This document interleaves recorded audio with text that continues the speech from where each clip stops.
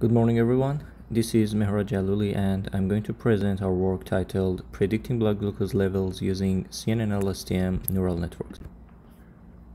Our motivation for this project is accurate forecasting of blood glucose levels which is a crucial and of course a challenging problem for diabetes management. So given this motivation, our objective as shown in figure 1 is designing a system which uses deep learning techniques, specifically a CNN LSTM model to predict the future CGM given a multivariate physiological dataset and some other information from the patient. So the data that we used was collected during the research project DIAdvisor from 59 patients with different histories of type 1 diabetes disease participating in a three-day in-hospital study.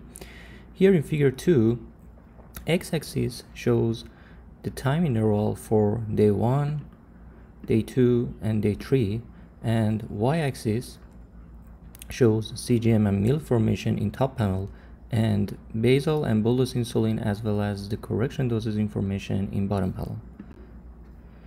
So this is our proposed CNN LSTM model. Firstly, the data is divided into train and test sets in patient-wise manner.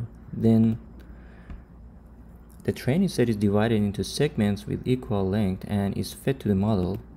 And here in this section, the CNN section automatically extracts the significant features from the dataset and in the next section, which is the LSTM part of the model, the sequence learning, which uh, means learning the patterns and the relations between the variables is performed and then finally at the output layer we get the predicted values for CGM which has the length equal to the prediction horizon. So we trained separate models for 30, 60 and 90 minutes prediction horizon and we got very good results. The bar plot in figure 4 shows the performance evaluation using mean absolute error or MAE, root mean square error or RMSE, accuracy or ACC and coefficients of determination or R2 for different prediction horizons. And here the box plot in figure 5 shows the patient-wise performance evaluation using the same metrics across the test population. Edges of box plots are the 25th and 75th percentile and median is shown at the middle of the box. According to figure 4 in previous slide and figure 5 in this slide, we see that by increasing the prediction horizon, the variance of the results and error increases. And finally here in figure 6 we can see two examples of the predicted CGM for different prediction horizons. Here y-axis shows the glycemia and x-axis shows the time. This highlighted part that shows time before zero is the total historical data that the model uses for prediction. After time zero, we see the predicted values and the ground truth. For each prediction horizon, the model uses the previous samples with length equal to 3 times the length of the prediction horizon.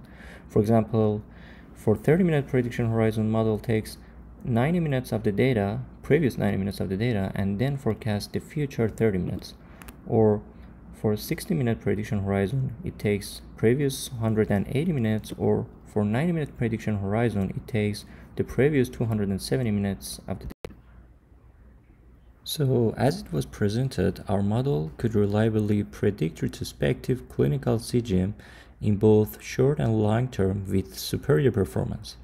Our future work will consider implementation of our prediction into a smartphone-based decision support system for type 1 diabetes management.